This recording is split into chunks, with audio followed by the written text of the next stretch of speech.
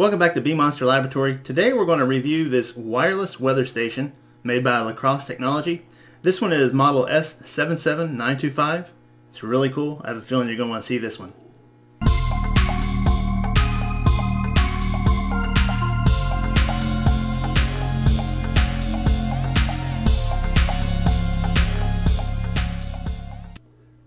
We bought this item at Sam's Club on a Black Friday deal. At the time it was $40.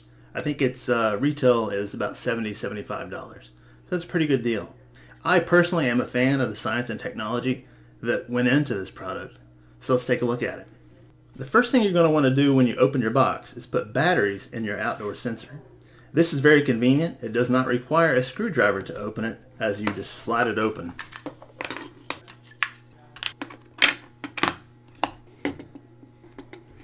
The next thing you want to do is insert your 5 volt power cord into an outlet, then into your weather station. When picking a spot to place your weather station, place it in an area near an outlet that you don't use that often so that your weather station will remain undisturbed and out of the way.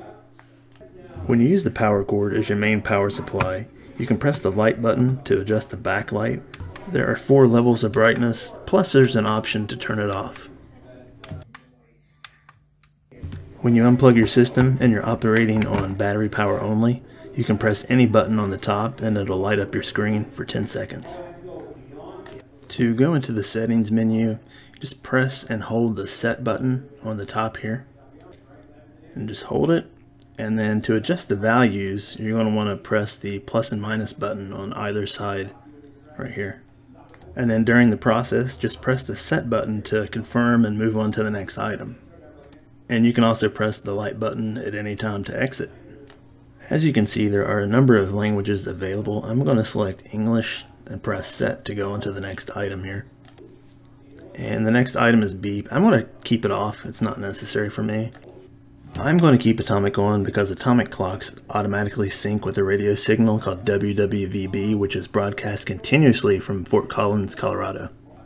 The next option is DST, Daylight Savings Time. I'm just going to keep it on automatic.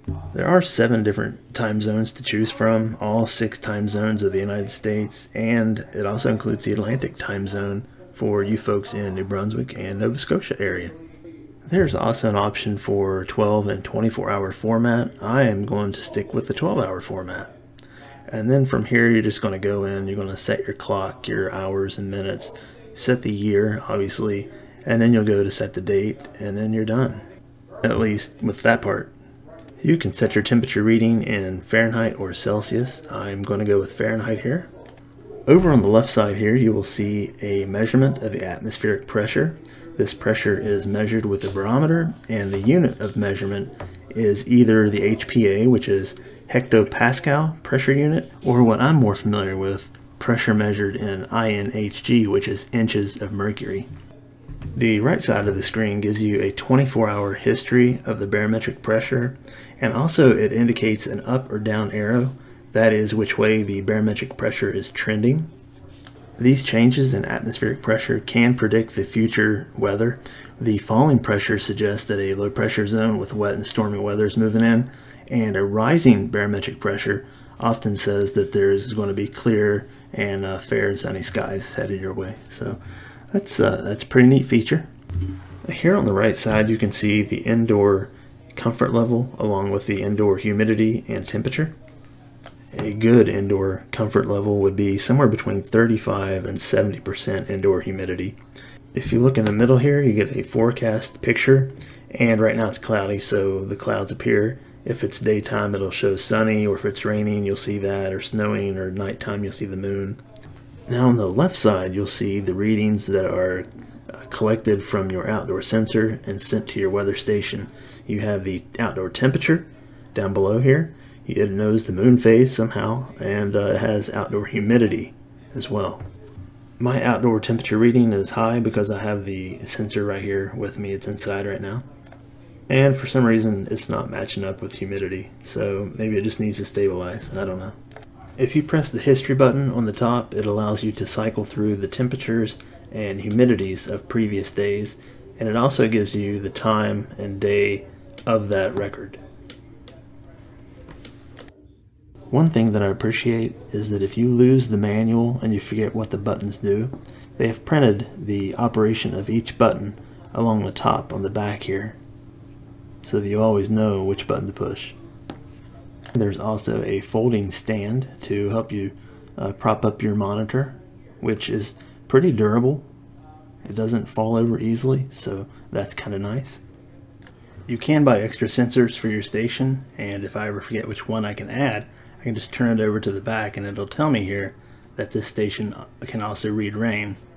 If you do end up buying an extra sensor for your unit, be sure to switch to another channel before you insert batteries.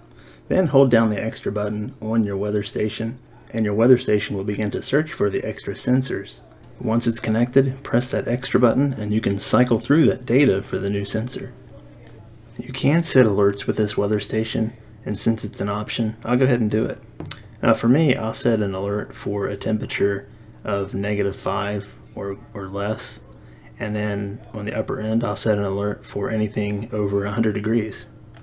I don't know what this alert is going to look like. I don't know if you need to have your beep on or if it's going to be an on-screen alert. Uh, so we'll see. We'll see what that looks like.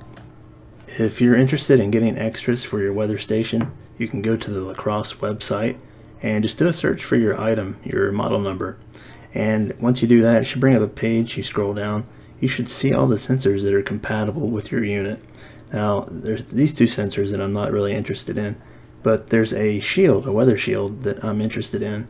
There's also a rain gauge if you're interested in measuring rainfall.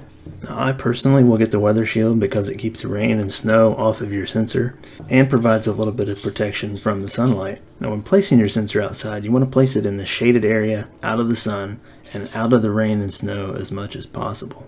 Now there's a number of different weather stations available. Some measure rain amount, some whether it is raining with a rain sensor, some use uh, wind cups to measure wind speed, so there's a variety. Three AA batteries are an option for backup with your weather station, and these batteries should last you 48 to 60 months when you use the power cord as the primary power source. When using new reputable batteries in your outdoor sensor, those batteries should last you around 24 months. Your outdoor sensor has a range of about 330 feet in open air, and for every wall between your sensor and the weather station, you should cut that distance in half. So consider that when finding a place to put your outdoor sensor. Aside from keeping your sensor out of the sun and the elements, there's really a not a whole lot of care and maintenance that goes into this. As for the batteries that you're using, you shouldn't mix old and new batteries. You shouldn't mix different types of batteries, such as alkaline, lithium, rechargeable batteries. You should always insert them in the correct direction and remove the batteries when you're not going to use this unit for an extended period of time. We've had this for about four days and I can't really think of anything that needs improved or to be done better.